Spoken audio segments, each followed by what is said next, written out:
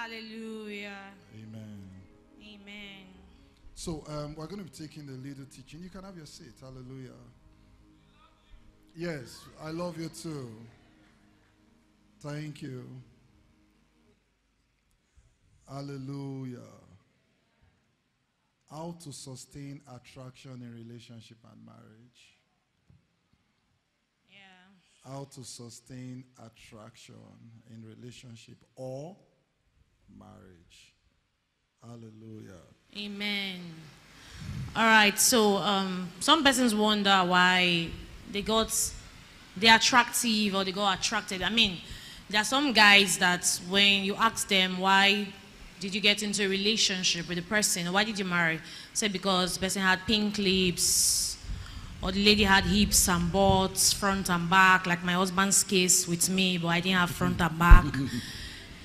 Amen.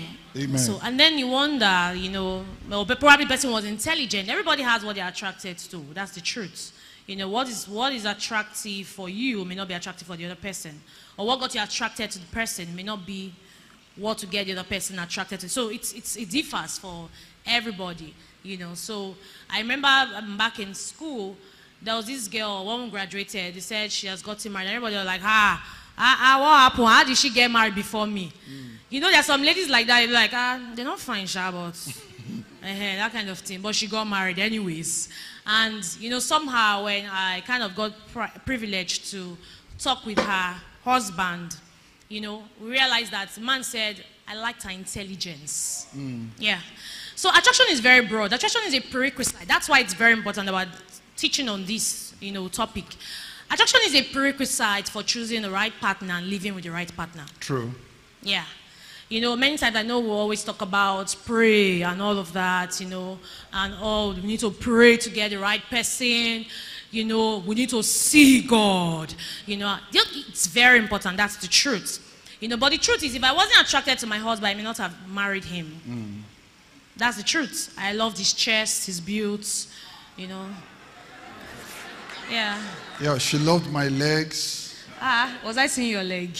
but I liked his, you know, it wasn't a six pack kind of guy, but I liked the way he I looked. was in the realm of the spirit. Amen. I'm now six pack. So then when he's walking, I like the way he bounces. That's what I was saying. Now you like my legs. Okay, it's not your leg, it's your style of walking. Okay. so then for me, what did you even like about me? What got you attracted to me? Um, I love your legs as well too. I Um, like your eyes, your Aw, nose, my face. your lips. Ah. You know. So what we're basically saying that attraction is very important. That's true. That's what we're just saying. All of it's our uh, grammar. Attraction is very key. That You when I was looking at her, it wasn't an angel I was seeing. I was seeing yeah, a human being only, Uh-huh. and he picked something that he, you know, and all of that. So attraction is very key. But we wonder why people get attracted. Your spouse can get attracted to you, or a bull can get attracted to his bay, or a bay can get attracted to his bull. But somehow along the line, lose attraction Yeah, for you each can't other. sustain You can't sustain it. So attraction, it's sustainable, and that's what we want to deal with Yes. today. So we wrote down few keys in sustaining attraction. Yeah, how to sustain attraction. Number Yes. one, appreciate, yourself. yourself. Appreciate yourself. Appreciate yourself. So we are saying that love first of all starts with you. Before you love somebody, you must first love yourself. Mm-hmm. Yourself. A lot of people are looking for people that will love them, but they don't love themselves. Yeah. You know, you only attract what you are. If you don't love you, if you don't love you, you can't get anybody that will love you.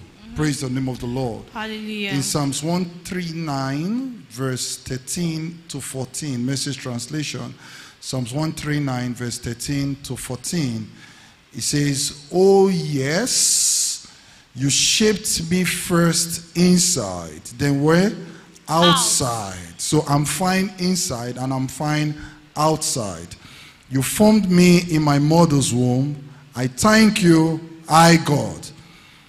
You are breathtaking. If I if I'm not, I, I don't want to give you statistics that is not so accurate. But the truth is that a lot of us, when we get to the mirror, we try to see one deficiency in our in in in how God's created us.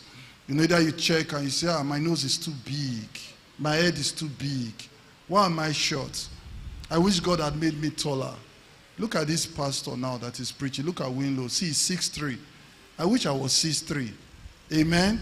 I wish God gave me a husband that will be tall or a wife that will be short. You know, we just wish above that which God has already given to us. So King David here in the scripture was saying that he was marvelously and wonderfully made. Yeah. The truth is that if you truly want the best out of your life, you must I love you. Hmm? Do you love yourself more than you love me? Oh, see, they are not sure. I love myself more than I love you. I appreciate the gift that God has given to me. But many times the devil will always come and whisper to you and say, You are not good, you are not beautiful enough, you are too old, you are too young, you can't do this and all those stuff. So many of us we now suffer from low self-esteem. I remember when I was young, I actually dealt with low self-esteem. I mean, I really dealt with it. They tell me that I was going to get married, I will never believe. Not to talk of getting married to a fine woman. A fine woman. Celebrate me now, Abba. So as single I was, I never knew I was going to talk to a lady because every time I look at the mirror, I tell myself, why did my parents give me tribal mark? I went to go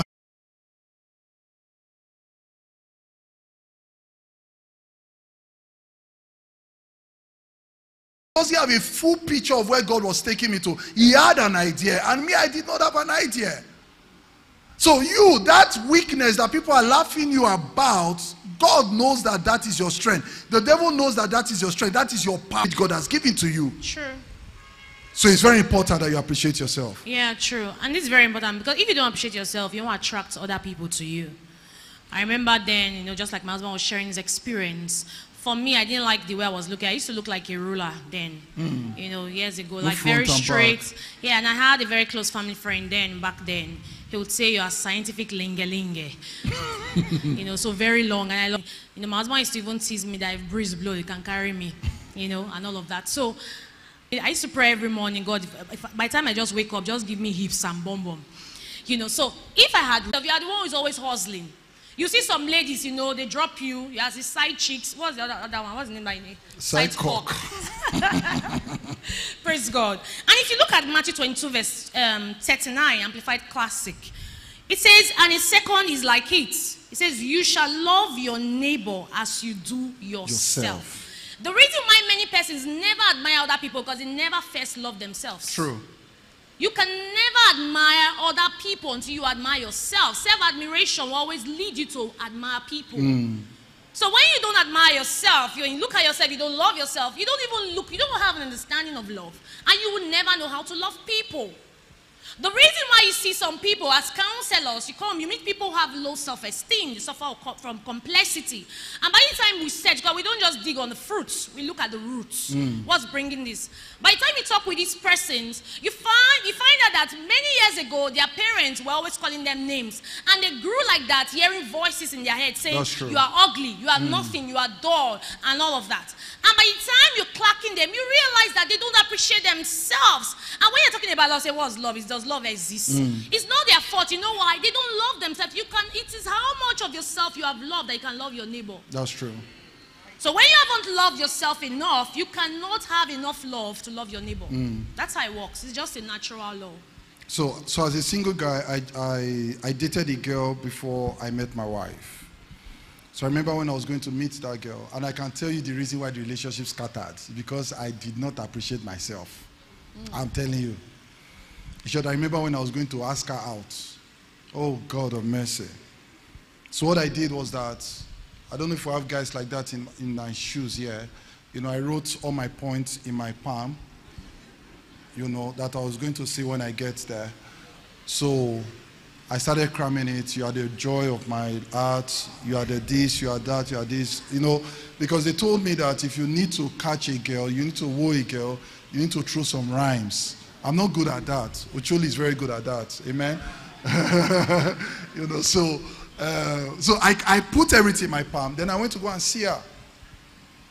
But you know, when I got there, I started sweating. I was sweating profusely. I was sweating to the point that the sweat cleaned all my points, all my key points in my hand. So she asked me finally, I said, okay, so why are we here? I said, Anna, Anna, and I, I, I, he said, Oh, he says something. I know there's something in your heart. Say it. I said, uh, you, you see, uh, uh, uh, okay, I'll, I'll come back. And as I left. Then finally, I now wrote it on a piece of paper. And I said it to her. In her presence, she was over there. I was clear. And that's how I started one stupid relationship.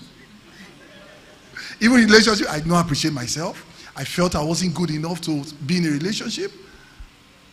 You know, she had a lot of guys around her. I just felt that those people were better off. I'm not a better person and all those stuff.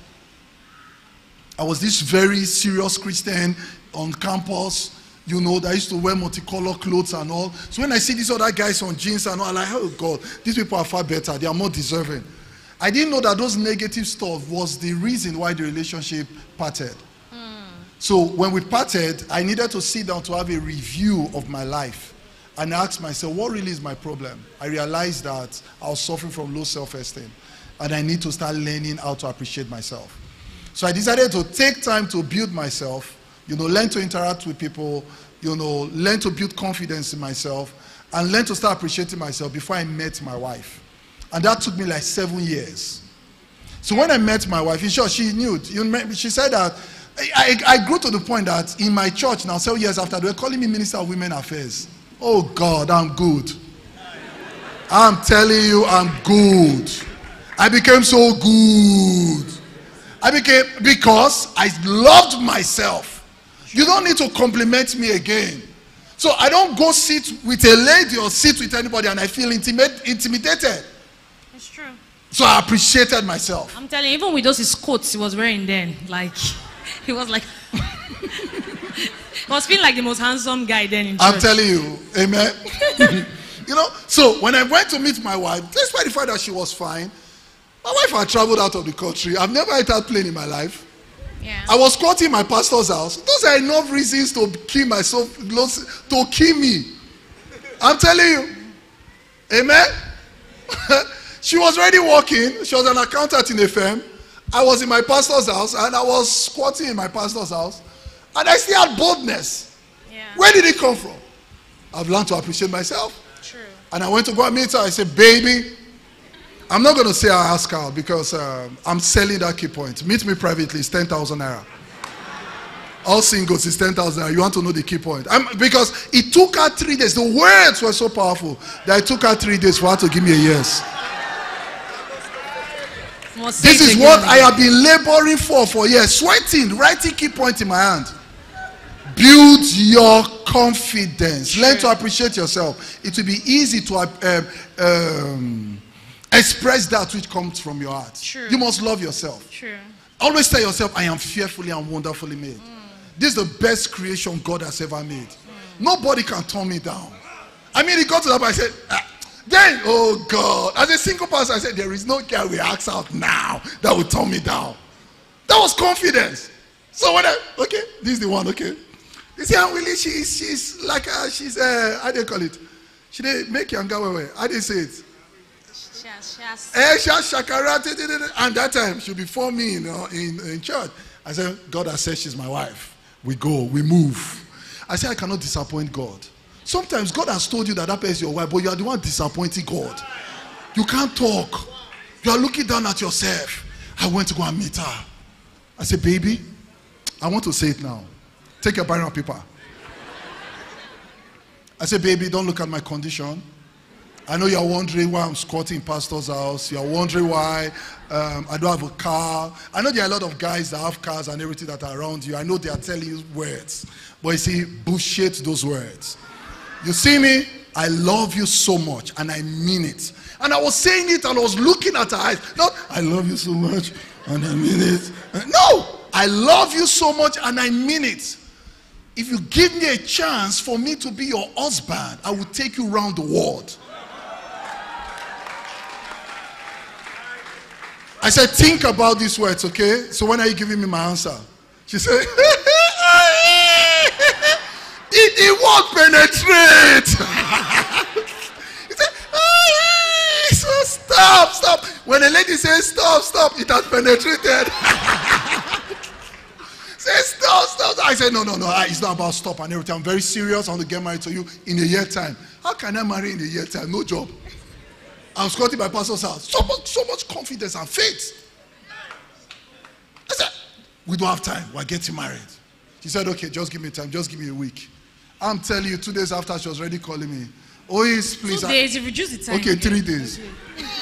uh, two, three days, no difference. 24 hours difference.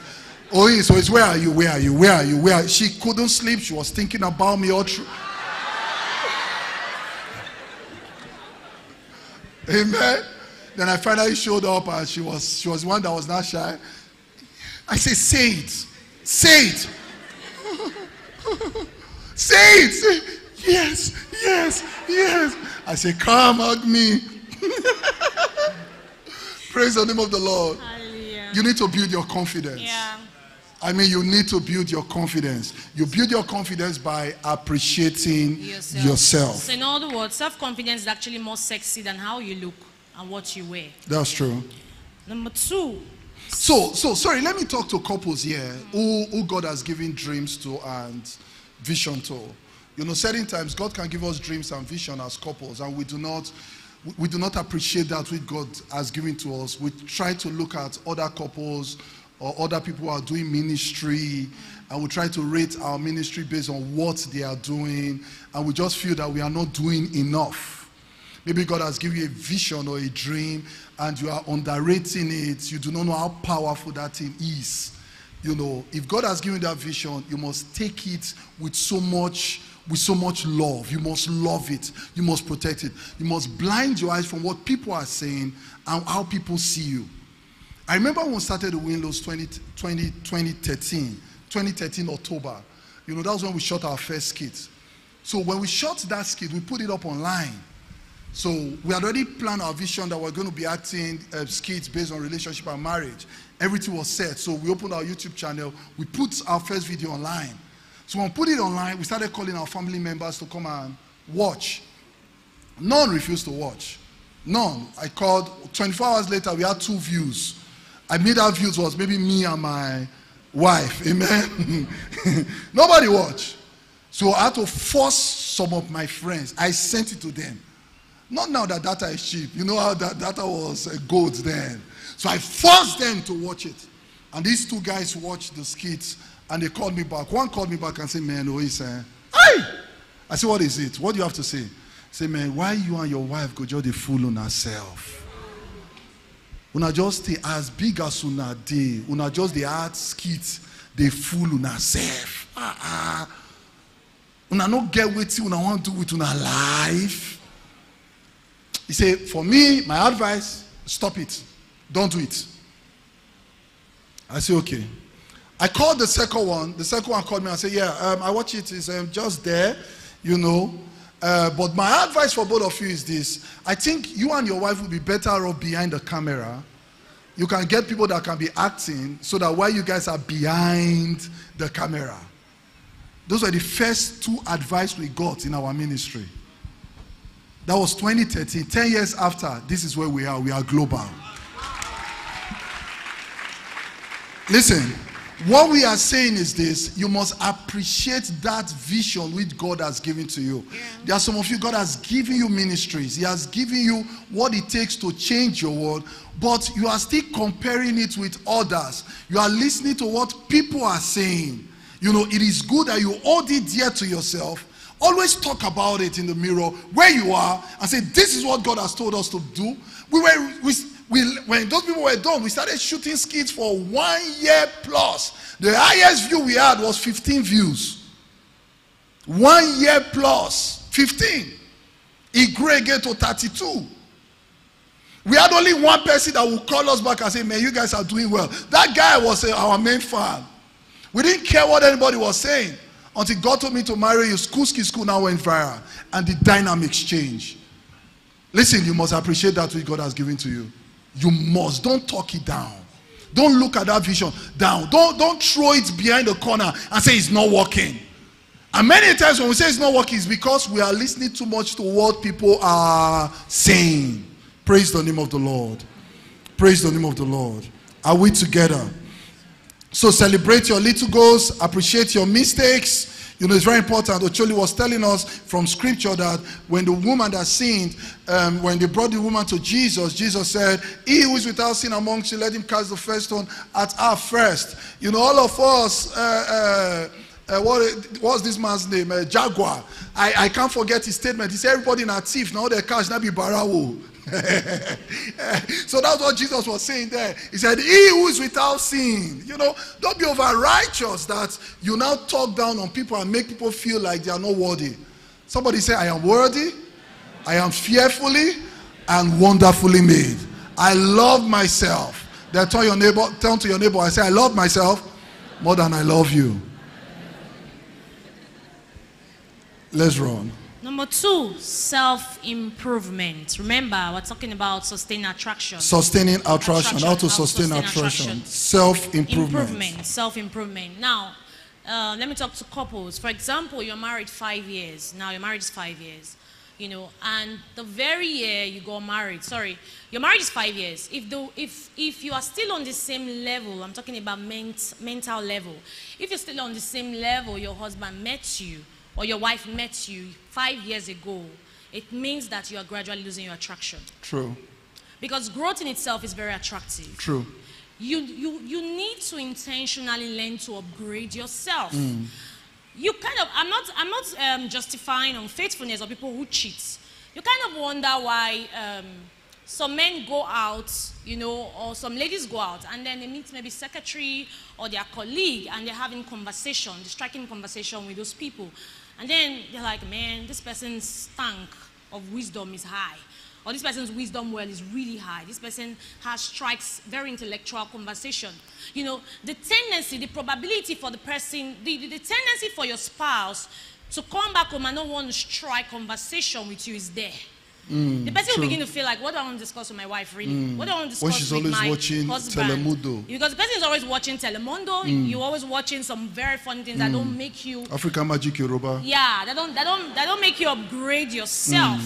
You know, because if you if you look at it, um, if you have to use your WhatsApp, use your Facebook in the same model, like you don't keep on updating, you're going to lose lose out of the old the new um, stuff that the app may actually have, may have created. You know, so that's the same thing with humans. If you got married or if you are in a relationship and the person got attracted to you probably by how you look or even your intelligence and you're not doing anything consciously to develop yourself, your attraction will be lost. Yeah. Before you know it, you begin to you will begin to lose your attraction for yourself first. Before your spouse or your fiancé begins to lose attraction for you. Mm. That's the truth. You don't want the situation where you get married. Your, you and your husband, you post level, your, your gap of wisdom, or the, the, the gap between your spouse, your, your, the husband and wife, it's very far apart. It means that companionship cannot be effective. Yeah. Because it's actually communication that brings companionship. So when you're not upgrading mentally, when you're not upgrading intellectually, there's really nothing to converse. There's really nothing to communicate about. You can just communicate about, ah, food day, okay, food not day. Oh, okay. That's why you see some relationships are very dry. You call the person, have you done bath? Have you bathed? have you, you are awake? The person is talking to you, I say, oh, you, you are, oh, were you sleeping? Or why are you sleeping? You know, there is nothing to really talk about. Because why? both of you are not on the same level of intellectual compatibility. Both of you are not on the same level of um, your mental faculty. So before you know it, the conversation is no longer there. You see, I, I, I remember um, during my counseling day, um, one of my counseling days, um, a man came to meet me in the office. And then it was like he doesn't know, but he just sees the union as very weary, he's tired of his marriage and all of that. And I listened to him. I didn't go with, what? I bind the devil. No. I'm like, okay, what's going on? How did you, was it always like, and this is two years in marriage. I'm like, what happened? Why is it like this and all of that? And then first thing is like, the wife is not even willing to always learn. She doesn't want, she doesn't want to know anything new. And I, I said, okay, you know what? I can't have this counseling with just you. I need you to bring your wife so I can actually hear from both ends. And she's like, eh, when her husband is talking, is, is uh, the, the, what he says is really fast. She can't really comprehend it. Yes, their marriage is like that. Yeah. The man is going far ahead, he's leaving the wife behind. True. And sometimes the man doesn't intentionally want to leave the wife behind, but the wife is just not ready to learn move. as the husband is moving. Yeah. When I got married to my husband, it was my case. So it's not like I'm just talking. When we just got married, I just felt like, okay, there are, there are some kind of ministers I should listen to, there are some I should not. And my husband is like, if you want to grow in ministry, you have to be vast. Mm. So every time we have conversations about ministry, he's very far ahead. So what I had to start doing was I had to accept my weakness. And then if I needed to grow and sustain the kind of members we were having and be able to strike conversations with those people, I now began to peep on the materials my husband was reading. So we had an app. We have an app in our tab. And every time I go to see the, the, the, the books he has downloaded, I'll go and read it twice. In fact, he'll be so amazed that I finished it. He's still reading half mm. the page. Why? Because I did not want to lose the attraction I have for myself as mm. well as the attraction people have for me. True. As well as the attraction my spouse has for me. I want a situation when he's striking conversation with me, especially with ministry that we do, I'm able to dish out something that is wise. Yeah. Content is sexy. Mm.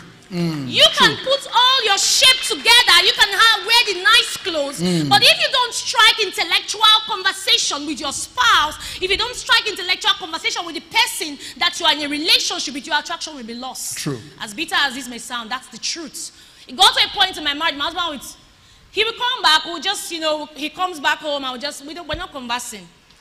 Yeah. And I'll be like, he hold his phone, you just press, you know, I'm like, okay, bring food, eat, sometimes have sex, sometimes don't have sex, and we sleep. And I'm like, what's going on here? And so by the time we began to converse, realized that there was really nothing much that I had to offer from my brain. So it means that I needed to wake up mm. to grow. Was I growing other areas? Yes, but you see, the very things that are core that connect you and your spouse, you must be on the same page. That's true. So, if for example having nice taste of food, both of you have the same taste board. Mm. Okay, I can also get it from a restaurant. Mm. And all of others. But what about some other things that makes companionship very effective that I need to come together and it's core for both of us? So if both of you are into ministry or both of you have businesses you're running, even if your spouse, your wife or your husband may not have all of the knowledge, but there is something about, you know, you contributing, saying something, oh, wow, oh, you're into catering. Oh, I think you should try this. I think what even made me even get married to my husband, actually, one of the things, you know, it wasn't really my spec. We've said it a number of times, anyways. But in relationship then, Continue.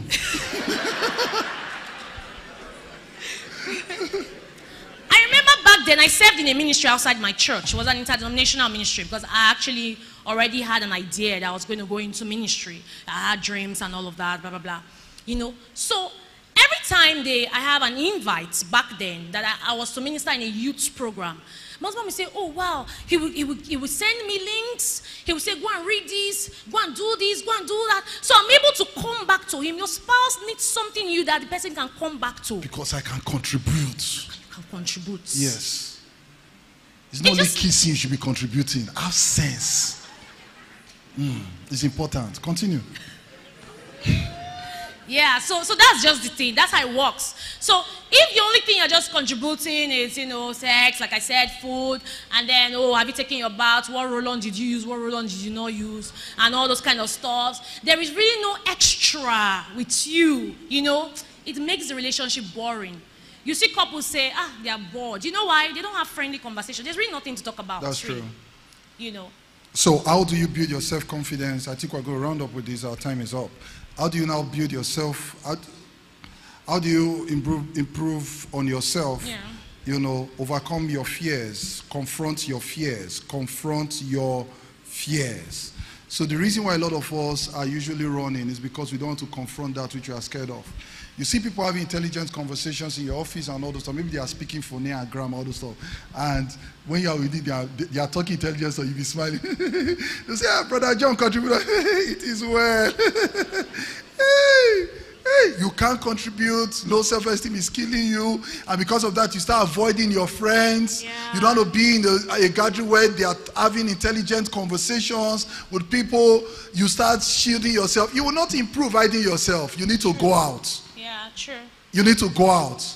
Dare those things. Dare those relationships. Build networks around yourself. Have intelligent mentors, men that can challenge you. Yeah. Be around circles of friends that can challenge you. True. They are doing what you're doing and they are doing great things. Just have communications with them and all those stuff. Yeah. You can just keep improving yourself and you keep growing. It's very important. True. So I why, okay. yeah, so why are the smartest in that circle? Look for people who are smarter than you. Yes, yes, yes. yeah. So it, it is very important. So try something new. Try new new relationships. Not uh, going for uh, uh, marriage relationship. I mean friendships. You know, you know, no. A, a lot of us would like to be alone where we are. You know, in our mediocrity. You can just improve by uh, getting friends. You know, visit some core areas within your city. You know, where they eat intelligently. It's not every time Mama put it's my style. Is my style. You know, just just go out. Go go to a place where they eat. Use a fork and knife. Uh, Yeah, cutlery true. to eat. You know, just just try try new things. Okay. Yeah. It's very important, you know. Before I entered plane, I had to go and join protocol department in church.